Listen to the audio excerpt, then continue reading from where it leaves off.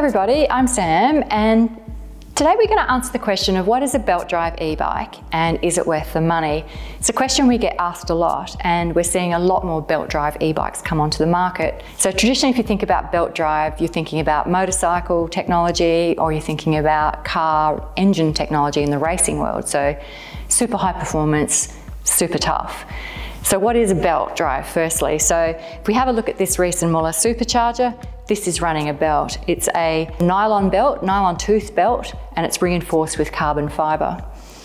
It is a single piece and you can see that it runs a bit like a chain, but it, but it runs from one side of the frame to the other. Super efficient, it runs a very straight drive line. So unlike a derailleur, it's not moving from cog to cog, so you don't get the, the, the movement side to side like you do in a derailleur, which also makes it very, very efficient. So why do people tend to go for the belt drives these days? So I just mentioned the durability. They are tough as. Most of our customers who are running belt drives are probably getting a 20 to 22,000, sometimes 25,000 kilometres out of a belt drive before they're needing to change it. That's phenomenal. So these customers are generally doing long distance riding as well. They're, they're super users when it comes to, um, to riding. So long distance touring, you know, riding every day. The other really nice thing about a belt is it's just clean. It's clean and it's quiet. So you're not lubing your chain, therefore you're not getting chain grease. So there's no dirty fingers to clean your chain or if something happens. Um, there's no extra tools that you need because you just don't have all this extra mechanical parts like the, the cogs and the derailleur to worry about. Um, it's just a very clean unit. Generally the belt drives, they work they only really work with either a single speed or an internal hub gearbox. So we're talking about high performance as well, so great shifting range.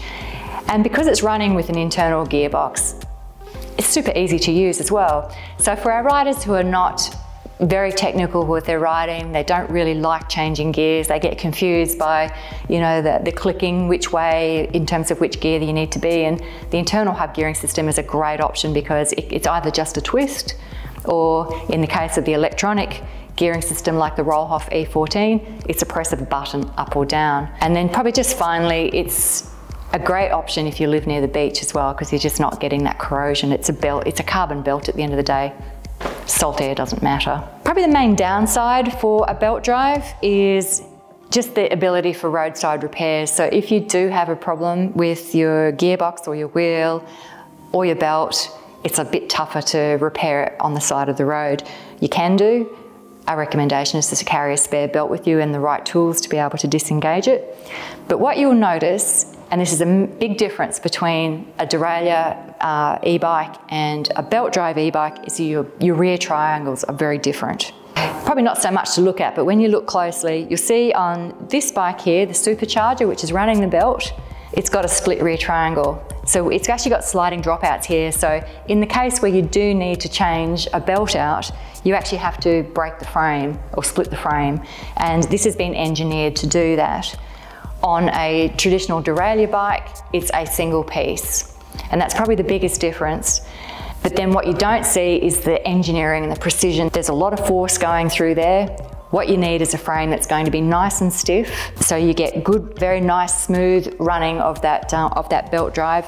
And in the case of Riese and Muller here, you'll see you should see extra engineering such as uh, belt tensioners, just to keep that that drive line running um, nice and smoothly. So just touching on the just touching on the, the question of why do they cost a lot more. Well, hopefully you've got a bit of a sense that there's quite a bit of extra precision and engineering that's required in the frame. You really do want a frame that's going to cope with the, the strains and the stresses of running, running a belt drive, but also doing those thousands and thousands of kilometres that the bike's expected to do.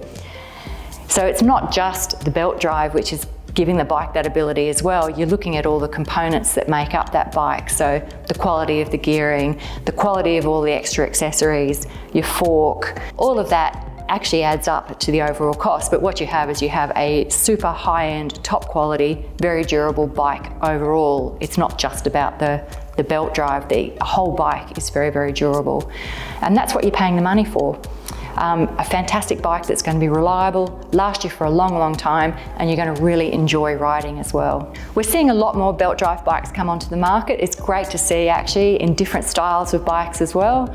uh, step throughs, adventure bikes, long distance tourers. Uh, we're seeing it coming into the cargo market as well.